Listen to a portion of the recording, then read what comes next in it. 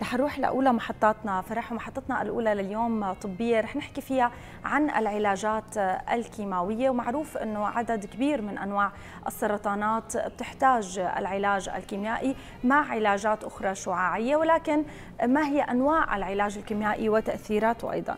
كثير بنسمع سلمى إنه كثير من الأطباء بيلجأوا بيلجأوا للعلاج الكيماوي الشعاعي قبل ما يلجأوا للعمل الجراحي اللي دائما بيتخوف منه المريض بشكل كبير. بتركوا لآخر شيء. تماما. هلأ بتختلف وجهة نظر الطبيب وحالة وحالة المريض خلينا نقول وهذا الشيء طبعا بيقرره الطبيب لكن العلاج الكيماوي رغم له بعض الآثار الجانبية لكن بيلجأ له الطبيب ممكن يكون كمرحلة أولى. رح نحكي عن هذا الموضوع بالتفصيل.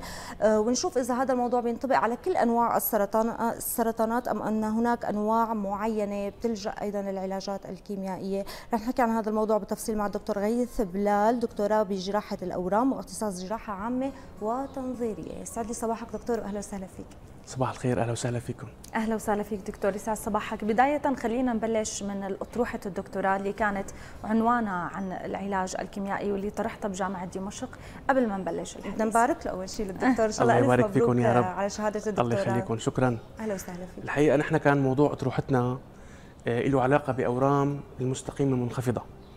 الحقيقة هي الأورام بهي المنطقة ممكن تاخذ أكثر من خيار أو احتمال جراحي. حديثا دخل العلاج الكيماوي والشعاعي للمرضى بهي الأورام قبل الجراحة والدراسات الجديدة والأبحاث الجديدة طورت هالشيء ونحن بحثنا بسوريا كان مؤكد ونتائجه كانت متقاربة من النتائج العالمية حول تغيير نوع العمل الجراحي عند هدول المرضى بعد تطبيق العلاج الكيماوي والشعاعي واللي بفضل هالقصة والطريقة هي حسنا نحافظ على الشكل التشريحي الطبيعي لجسم الإنسان. دكتور بنسمع إنه في كثير اثار جانبيه للعلاج الكيماوي والعلاج الشعاعي، خلينا نعرف شو هي الاثار الجانبية وإمتى بيكون الدكتور يمكن رافض العمل الجراحي بهذا الموضوع؟ تمام، نحن عموما العلاج الكيماوي شو هو مبدأه بشكل مبسط؟ هو علاج قاتل للخلايا الورمية وبنفس الوقت ممكن يعمل تأثير جانبي من خلال تأثيره على أنواع أخرى من الخلايا حسب نوع الخلية اللي بيأثر عليها بتظهر أعراضه سواء بتساقط الشعر سواء بضعف المناعة بشكل عام إلى آخره. ما بدنا نفوت بكل هي التفاصيل ولكن إحنا الأهم من ذلك إنه هذا العلاج الكيماوي عم يقدم لنا فائدة كثير كبيرة بإنه عم يخفض مرحلة الورم قبل العملية وبالتالي عم تكون نتائج الجراحة أفضل البقية أحسن ونوعية الحياة أفضل لهدول المرضى. رح نتابع فرح مع المشاهدين مشاهد من طبعا أطروحة الدكتوراه بجامعة دمشق ونرجع لنكفي حديثنا.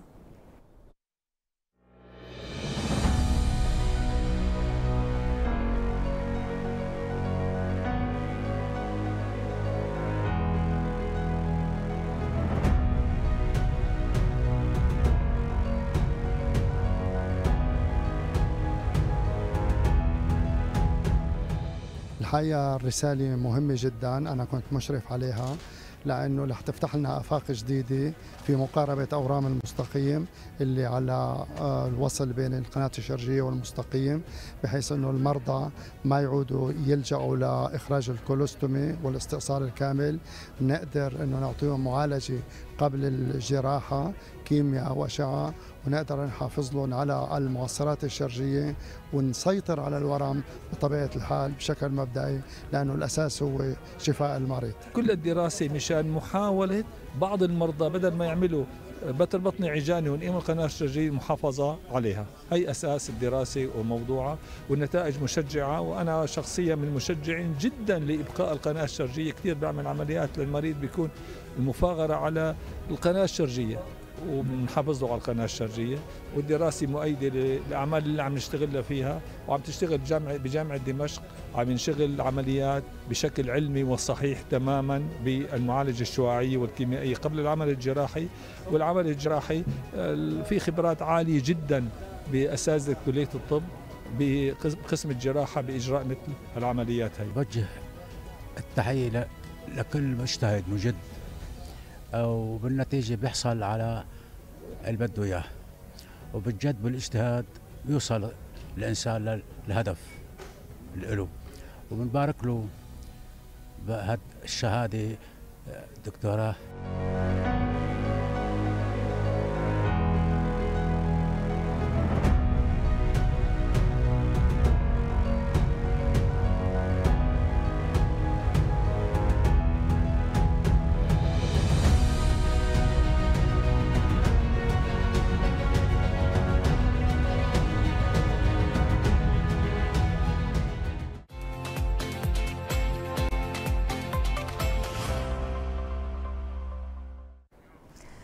دكتور خلينا نرجع شوي لموضوع الأطروحة ونحكي اليوم آه، كان في يمكن مقارنات آه، بين يمكن أبحاث عربية وبالتحديد السورية اللي حضرتك عملتها وبعض الأبحاث بدول أوروبية خلينا نقول ما مدى المقاربة يلي صارت وشو استفدتوا من هي الأطروحة؟ طبعا نحن عموما دراستنا كانت مشابهة بشكل كبير للدراسات العالمية وبشكل خاص في دراسة بالولايات المتحدة الأمريكية وفي دراسة بكوريا آه، كانت نتائج دراستنا كثير جيدة. آه، تفوقنا ببعض النقاط على الدراسة الكورية وتشابهنا ببعض النقاط مع الدراسة الأمريكية. وهذا شيء كثير منيح. نحن فتحنا آفاق جديدة بعلاج ومقاربة هي الأورام. آه، حقيقة في طرق جديدة جدا. راح تريح المريض كثير راح تنقل نوعية حياته. من نوعية حياة كانت شوي صعبه لنوعيه حياة طبيعية مثل مثل الناس العاديين وهذا الشيء بحد ذاته إنجاز كثير كبير سواء على الصعيد الطبي أو على الصعيد النفسي عند المريض. يعني ممكن نحن آه، نطور شوي بهي الأطروحة أو يتم الدراسة عليها بشكل أكبر لحتى نحن نستفيد منها فعليا بمشافي السرطان اليوم؟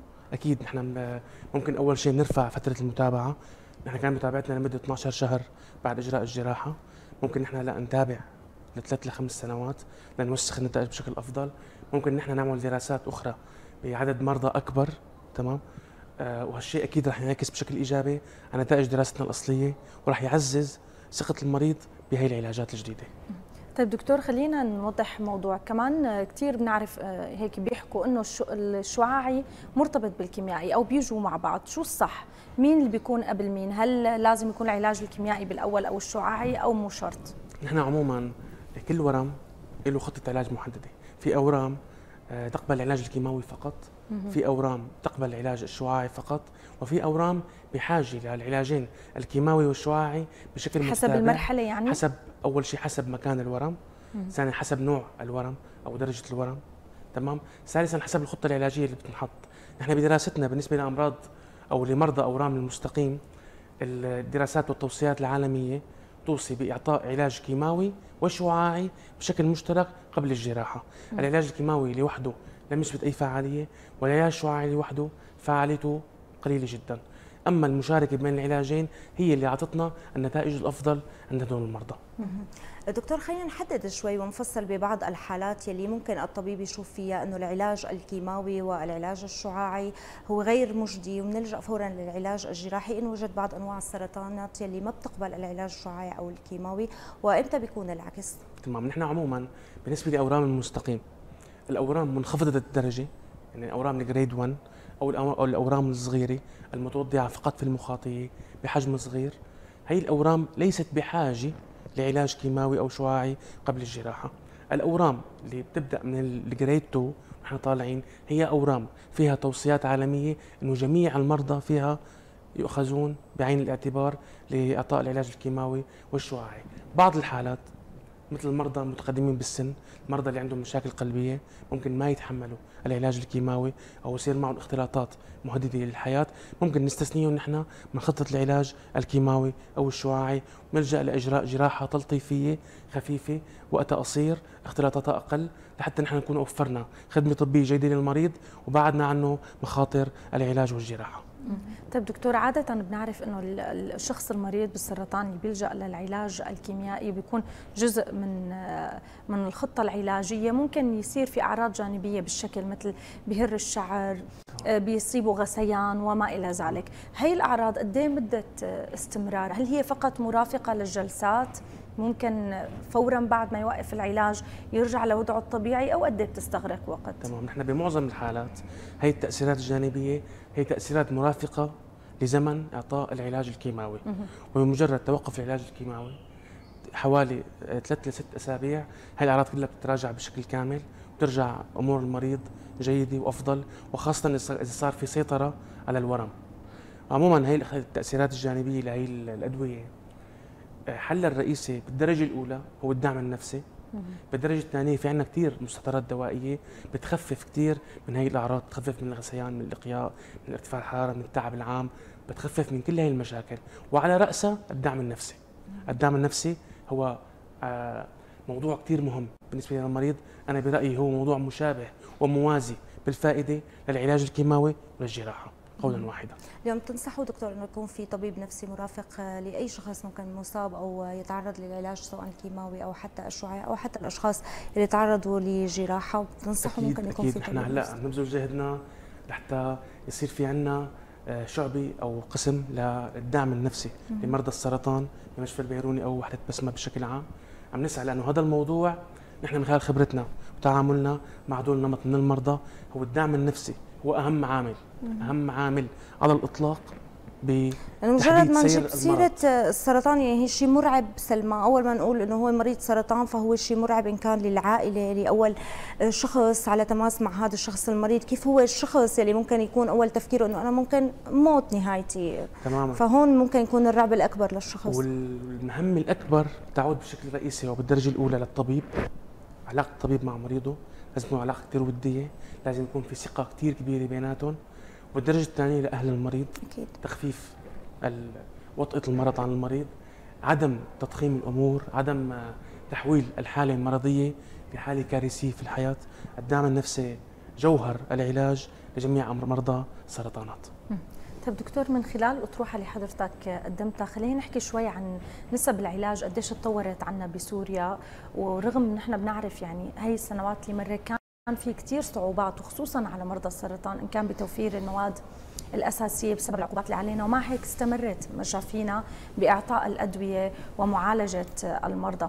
قد إيه في نسب وتطورت فينا نقول العلاج عنا بالبلد خلال الفترة الحقيقة أول شيء مشكورة كثير وزارة التعليم العالي مشكورة كثير إدارة مشفى البيروني بالجهود المبذولة كثير لتأمين الأدوية بأصعب الظروف وبظل الوضع اللي إحنا عايشينه مشكورين جدا. الحقيقة نسبة قليلة كثير من الأدوية آه، يلي ما عم تتأمن مو مو بكل الأوقات. أما معظم المستحضرات والأدوية المطلوبة موجودة وتوزع بشكل مجاني لجميع المرضى هذا شيء يشكرون عليه وزارة التعليم المعالي ومستشفى البيروني. بالنسبة للنسب نحن حديثا صار في عندنا برامج كشف مبكرة للأورام سواء بسرطان الثدي أو سرطانات الجهاز الهضمي اللي في لها استقصاءات ممكن تعمل تشخيص مبكر لهي الأورام. حجر الأساس بخفض نسبة الوفيات الخاصه بالسرطان وخفض نسبة آه، الاختلاطات والمشاكل المتعلقة بالأورام هو التشخيص الباكر. لما بيكون في تشخيص باكر لأي ورم فنحن عم نشخص بمرحلة باكرة. فنحن فينا نعطي علاجات خفيفة وذات فائدة عظمى. لجميع المرضى فأكيد نحن برامج الكشف الباكر اللي بنتبعها وزارة التعليم العالي ووزارة الصحة عم تساهم بشكل كثير كبير بخفض نسبة الأورام المتقدمة ورفع نسبة نجاح العلاجات بشكل عام. بالنسبة دكتور لموضوع الأطروحة خلينا نحدد أكثر، اليوم لما بنحكي نحن عن سرطان المستقيم، مين هن الأشخاص خلينا نقول الأكثر عرضة أو الأكثر قابلية يمكن للإصابة بهذا نوع السرطان؟ الأطفال ممكن نستثنيهم من هي الإصابة أو لا؟ ما فينا نستثنى أي حدا من هي الإصابة، ولكن في عندنا نحن نسبة عالية أو نسبة اشياء مرتفعه آه، أكثر شيء بين عمر 18 لعمر 70 سنة. مم. طبعا هي العمر هو اللي شمله مرضانا بدراستنا نحن. في أسباب دكتور لهذا العمر؟ أسباب مباشرة ما في ولكن في عوامل خطورة وعوامل مؤهبة. تمام؟ في كثير عوامل خطورة وفق الدراسات اللي صارت عالميا. بيقول لك إنه العامل الوراثي له علاقة. مم. نمط الحياة قلة الوارد بالخضار والفواكه والألياف. البداني التدخين كلها عوامل خطوره أيضا أدواء الأمعاء الالتهابية. في عندنا أدواء أو أمراض أمعاء مزمنة ممكن تكون أيضا عامل خطورة لحدوث مثل هي التنشؤات عموما. طبعا نحن من خلال تشخيصنا المبكر متابعتنا ملاحقتنا لأعراضنا لما بنلاحظ على حالنا أي عرض مختلف سواء بنزف هضمي سفلي سواء بنقص وزن بنقص شهية أي عرض بيصيبنا ما لازم نهمله. يفضل نراجع طبيبنا نحن. نحاول نستشيره. هو بيشوف لنا شو الإجراء اللي لازم نساويه ومثل ما حكينا من شوي التشخيص الباكر يعني نتائج ممتازة. طيب دكتور في بعض أنواع السرطانات اللي ما بتظهر بشكل يعني ما بتعطي اعراضها وضوح غير سرطان المستقيم مثل ما قلت حضرتك بعض الأعراض واضحة، إذا كان في حالة بالعائله هل ينصح بعمل إجراءات مثل تحليلية أو ما إلى ذلك وقائيا لحتى نعرف تماما. نحن شو هي وإمتى السن المناسب؟ نحن مثلا في عندنا مرضى عندهم داء بوليبات عائلي. FAP تمام؟ هدول المرضى نحن بننصحهم يساووا تنظير هضمي بعد سن ال 40 بشكل متكرر. كل مريض له خطة تنظير معينة في مرضى كل ثلاث سنوات في مرضى كل خمس سنوات حسب نسبة أو عامل الخطورة الموجود بالعيله مثلا في عندنا مرضى سرطان الثدي اللي عندهم قصة عائلية بدرجة أولى هدول مرضى لازم يساووا دراسة شعاعية سنوية بشكل متكرر. أساسا إحنا ببلدنا صار في هلأ برنامج كشف لجميع المرضى سواء عندهم قصة عائلية أو ما عندهم بعد سن الأربعين لكل الستات والصبايا لموضوع الكشف الباكر لسرطان الثدي. فنحن بشكل عام كل نوع من أنواع السرطان حسب آه، نوعه وحسب القصة العائلية بنحط خطة متابعة نحن مشان إذا صار في كشف يكون كشف باكر.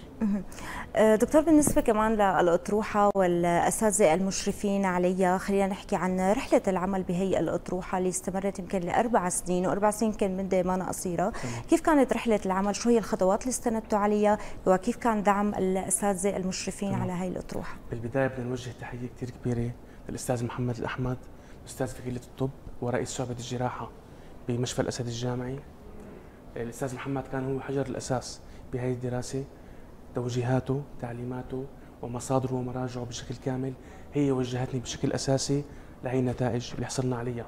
فنوجه له كثير تحية كبيرة. أكيد. بتمنى له الصحة والعافية دوما. بحث كان طويل شوي متعب شوي لأنه انعمل بأكثر من مشفى. نحن كنا نتابع المرضى بعلاجهم الكيماوي بمشفى البيروني وبعلاجهم الشعاعي بمركز الطب النووي أيضا بمشفى المواساة. مشكورة كثير إدارة مشفى البيروني. على الخدمات اللي قدمت لنا إياها والتسهيلات. وكنا نتابعهم بمشافي الأسد والمواساة والبيروني أيضا بعد الجراحة. فكانت دراسة طويلة آه، فيها جهود متعددة سواء من الباحث وسواء من الجهات الإدارية ومن الجهات الأخرى موجودة بكل المشافي. آه، نشكر كل حدا ساعدنا بالوصول لهي النتائج، نحن بنتمنى دوما بالنهاية آه، نوصل لبيانات تفيد المرضى وتحسن نوعية حياتهم. ونتمنى الشفاء أكيد لجميع المرضى. أكيد طبعا. أكيد. طيب دكتور خلينا نحكي كمان عن بعض النصائح اليوم بتحب توجهها. نحن بنسمع كثير أشخاص بيقولوا إنه تابعنا علاج كيميائي وهي ما عملنا عملية ولكن قالنا الدكتور إنه وقف السرطان عند حد معين إنه هو هلأ ثابت. هل في نصائح معينة؟ نحن بداية أمام أي حالة ورمية بصير في عندنا جلسات بورد هي جلسات مشتركة بين اطباء المعالجة الورمية الكيماوية وأطباء المعالجة الشعاعية والاطباء الجراحين. كل مريض هو حالة متفردة بحد ذاتها حسب بياناته حسب وضعه بنحط له خطة علاجية متكاملة تمام؟ ما في عندنا شيء إنه العلاج الكيماوي ما كفى أو الشعاعي ما كفى في خطة متكاملة بيتعرض للمريض بس يخلص من هي الخطة بنعاد تقييمه شعاعيا أو مخبريا حسب نمط الورم اللي عنده وبناء عليه متحدد هل هو كافي هل هو بحاجة جراحة هل هو بحاجة إعادة الشوط العلاجي هي بالدرجة الأولى. بالدرجة الثانية في حال وصلنا للشفاء في شيء اسمه متابعة بعد العلاجات. هي شغلة كثير مهمة وكثير ضرورية لأنه في بعض الأورام بصير فيها نسبة نكس أحيانا. نحن شلون بنسيطر عليها؟ من خلال الكشف الباكر أيضا من خلال المتابعة الشعاعية. والمخبريه. هي النقطة دكتور بدي أسألك عنها بالتحديد، اليوم. بنسمع كثير إنه بعض النساء تعرضوا يمكن لنوع معين من السرطانات الابرز يعني خلينا نقول سرطان الثدي. وكان في شفاء تام وعادت الصبية لحياتها الطبيعية أو السيدة، اليوم بباقي أنواع السرطانات يعني فيها شفاء تام خلينا نقول من هذا النوع من السرطانات؟ وكيف تنصح نغير نمط حياة السيدة أو أي شخص ممكن ينصاب بنوع معين من السرطان وانكتب له الشفاء منه؟ بالبداية بالدرجة الأولى العلاجات الاجتماعية نحن كلاتنا ضدها. العلاجات بالدعاء والعلاجات بال مثل ما بيسموها بالسحر هي علاجات غير صحيحة ومضرة للمريض جدا. بنصح المريض بالدرجة الأولى يسمع كلمة طبيبه يسمع نصائحه.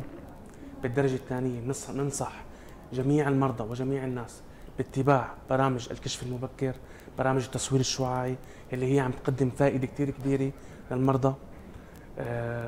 هذه بشكل رئيسي بشكل عام نمط الحياة الصحي يعني حياة خالية أو بعيدة شوي عن الأمراض. الحياة المليئة بالأنشطة الرياضية بالحميات الغذائية الصحيحة والسليمة الابتعاد عن التدخين آه قدر الإمكان الإنسان يواظب على نشاط رياضي يومي. كل هذه التوصيات عالميا ومحليا عم تودي لنتائج حيوية. سواء بما يخص السرطان أو ما يخص الأمراض الأخرى تبقى بعيدة عنا شوي إن شاء الله. نتمنى الصحة والعافية لجميع الناس. آمين يا رب. شكرا لك دكتور لكل المعلومات اللي قدمت لنا. شكرا لكم وصباح الخير. نتمنى لك كل التوفيق بقية نهار كثير حلو لك دكتور شكرا. وبدنا بهالمناسبة أكيد نوجه تحية لكل الأطباء السوريين اللي بعدهم موجودين بالبلد. عم يعملوا الدراسات ويساهموا بشكل كثير بتطور الطب وحماية المرضى. أكيد من أي خطر ممكن يتعرضوا له. شكرا لك دكتور شكرا لك